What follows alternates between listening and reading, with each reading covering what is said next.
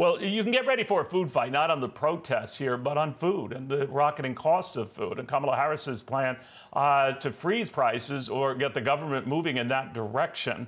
Uh, there are a lot of people that, to blame for what's happening with inflation, not the least of which are those that occupy the White House. Uh, but to be fair, we were coming out of COVID with the economy was stopped, so activity and prices were due to rise. But it did seem a little rich to many to hear Kamala Harris saying, uh, this isn't on us. This is on a lot of the food companies and the food industry. They're gouging you. My next guest doesn't quite buy that. Andrew Gruel is a noted chef and restaurant owner. So, Andrew, this idea that uh, people are getting gouged, uh, you know, whether it comes to, to restaurants or grocery stores or food companies, that doesn't add up to you. Why not?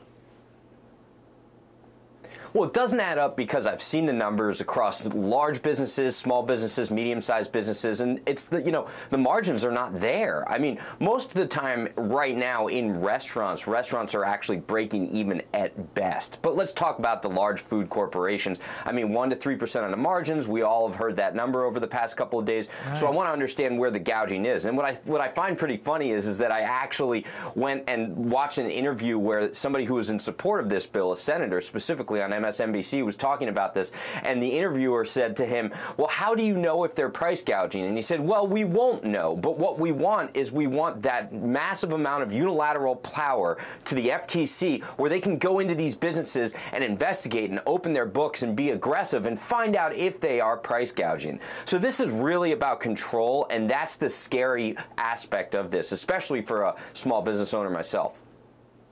You know, Andrew, you hear the administration often use uh, this shrinkflation as a as proof that companies are trying to gouge you. You could also flip that uh, around the other way. That if, if they're offering, you know. Uh, lower price packages with less items in them. They're trying to deal with that inflation and not sticker shock their, their, their consumers. But what do you make of that argument? Uh, their shrink, uh, inflation going on, which means there's gouging going on. Uh, I mean, you know, I think that that's just more semantic. Shrinkflation, greedflation, you know, the Inflation Reduction Act, right? All of these things sound great and fancy on paper, but they don't necessarily add up. I mean, I can go through a bag of potato chips in about two seconds, so I'm not going to lie to you. I haven't counted the chips. It's probably something I should get checked right. out.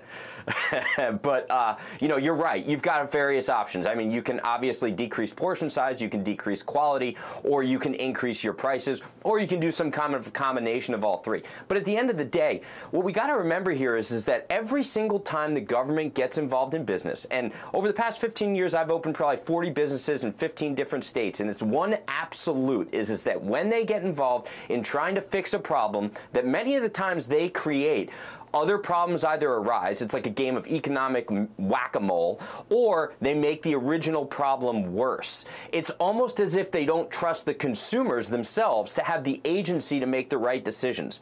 Eh, you know, every business, large and small, they want to be able to serve the best product at the lowest possible price to cut out their competitor. And consumers are smart. They're not going to pay $100 for a hamburger. So you're always going to get that competition right. where people are kind of fighting in order to be able to serve the best product at the best price. So why does the government know better than the consumer when, if you think about it, none of the people making these suggestions have run their own business? It makes me wonder if they've even been consumers. You know, Andrew, uh, you're a pretty good chef and a pretty smart restaurant owner. So how do you deal with the rising cost of pretty much everything you make? That's a great question. You got to be smart, right? So number one is you you find the right people, you hire for efficiency in operations, right? And you're going to have to increase your prices, and you have to increase them across the board. But you hope that volume makes up for uh, any of the loss, mm. right? So if you go from 5% margins to now 2%, but my volume doubles by way of those increased prices, and I'm serving the right product and I get more people in. And you, you have to be cognizant also of different dining times during the day, promotions, placement, marketing, all of those things that it takes to run a business. But it's a nuanced world. And once again, I go back to saying this who's run the business here? Have any of these government officials run businesses successfully? Most of the time, it's no. That's very interesting. Um, somehow you're doing it, though. Andrew Gruel, uh, chef, restaurant owner extraordinaire.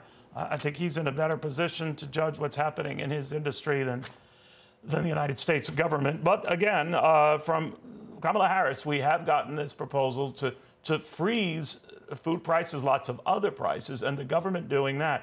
Now, keep in mind, this is the same government where we've seen inflation run rampant in its books. So now it's trying to police ours.